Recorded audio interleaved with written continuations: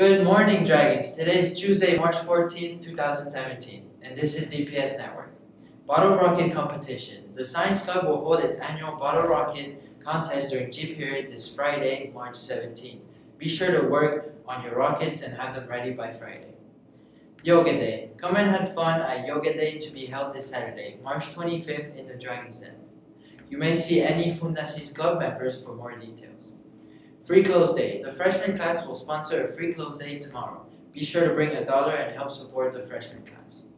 Into the Woods. The Tea Club will perform Into the Woods on April 21st and 22nd at the ACB Theater.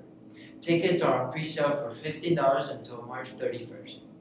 Please contact a cast member or Miss Ellis to get tickets to the show. Congratulations to all students who participated in the JIN conference this past Thursday, Friday, and Saturday.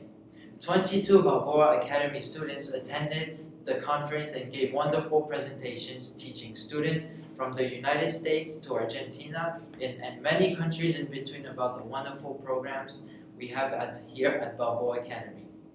Quote of the day I have a simple philosophy fill what's empty, empty what's full, scratch where it itches. Alicia Roosevelt. And a happy, happy birthday to Mr. Sotero and Maria Fernandez.